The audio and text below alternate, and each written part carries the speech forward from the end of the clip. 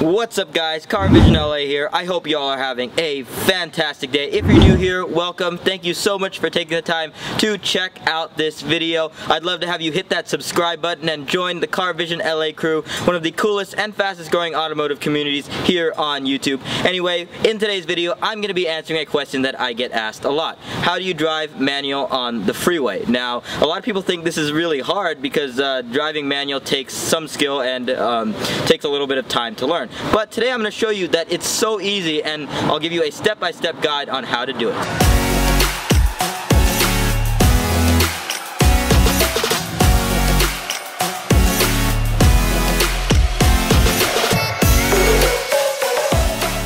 So there are three stages of driving on the freeway. There's entering, there's cruising, and there's exiting.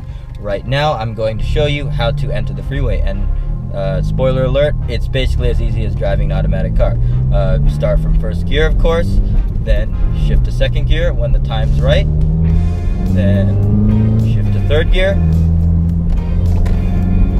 then shift to fourth gear, and then fifth, and when you're at the right speed, sixth gear. It's as easy and as simple as that. There's really nothing more to getting on the freeway in a stick shift car uh, than using your basic shifting skills, using your basic manual driving skills, and um, getting on the freeway. That's as easy as that. So there's no reason why anyone should be scared of driving freeway, uh, driving a stick shift on the freeway. Yeah, you're going faster, but it's actually a lot easier because you don't have to worry about hill starts. You don't have to worry about launching the car in traffic, unless there's traffic on the freeway. But I mean, on surface streets. But um, there's a lot less you have to worry about if the freeway is moving smoothly. When you're cruising on the freeway in a stick shift car, I'm to be completely blunt with you it's just like driving an automatic. It's as simple as that. Uh, you just leave the car in the tallest gear and uh, drive. Um, you enter the freeway like how I just showed you by going through all the gears, one, two, three, four, five, six, depending on how many speeds your car has. This particular vehicle has six gears. When you want to pass someone on the freeway, however, it is a little bit different, but still incredibly easy. Now, uh, in your automatic car, when you want to pass someone on the freeway, you're in drive, uh, you need power to pass them, you just press on the accelerator uh, or put it in manual mode. The car will downshift automatically, uh, give you the power you need, and then you just press the accelerator and boom, you pass the person. In a manual transmission car, it is a little bit different because you have to do it yourself. So right now I'm in sixth gear, I want to pass this person. So all I do is downshift to fifth, downshift to fourth. I like downshifting to fourth because it's less lag on the engine, it's better for the engine, you get more power. You press the gas, pass whoever's going slow, and shift into fifth and then sixth. Easy as that. Of course, you have to have a basic understanding of how to rev match, how to downshift properly, but um, when you start driving stick shift on the freeway, uh, you should already have those skills down pat. Driving stick shift on the freeway is incredibly easy for those who know how to drive manual transmission. If you are just learning manual transmission, then I would recommend mastering it on local roads. That's actually harder than experimenting manual transmission on the freeway. You will pick it up instantly.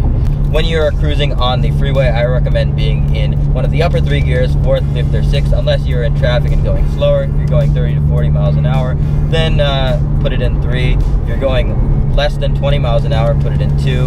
Uh, you don't want to be in a lower gear a lot when you're cruising at high speeds. Um, it kind of overruns the engine, it wastes gas, uh, the car drones.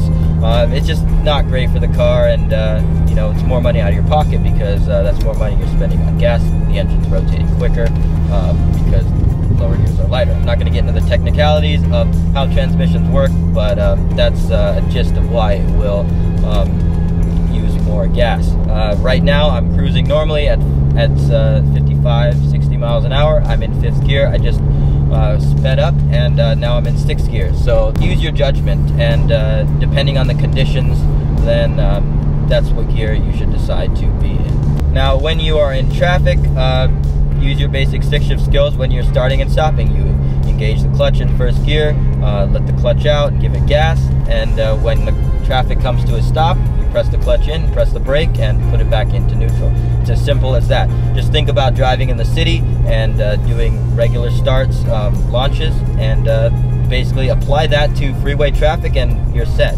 There's really no special way in um, trying to go about this. When you drive the same car over and over again, you kind of get a feel for the clutch. So then you can uh, devise some shortcuts on driving stick shift in traffic on the freeway, uh, like I have driving this GTI for the last year and a half. But it depends on the car, depends on the clutch, and just depends on the way you drive stick shift. Word of warning guys, you never ever want to accelerate and try to pass someone when you're sitting in top gear. That's fifth, sixth, or even seventh if you have a seven speed manual transmission vehicle.